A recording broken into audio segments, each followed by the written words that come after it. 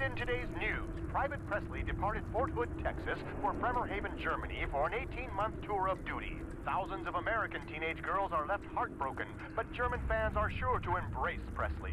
According to the star, should rock and roll music die out during his service, he would leave singing and focus on his acting career. And in today's news.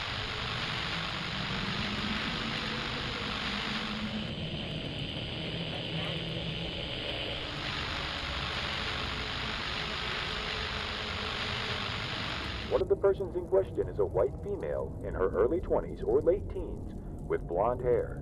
The other suspect is a white male with shaved head, late 20s to early 30s, with several tattoos. Both are considered armed and dangerous. One of the persons in question is a white female in her early 20s or late teens with blonde hair. The other suspect is a white male with shaved head, late 20s to early 30s, with several tattoos. Both are considered armed and dangerous. One of the persons in question is a white female in her early 20s or late teens with blonde hair.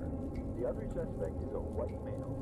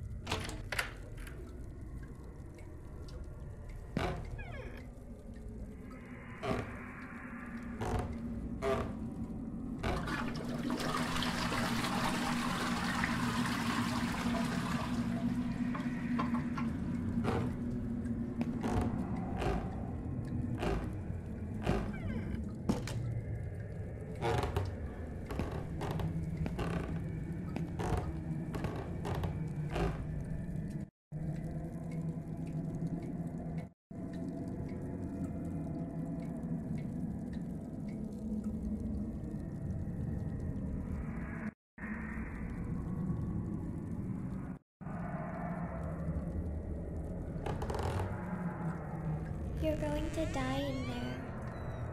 Don't say I didn't warn you.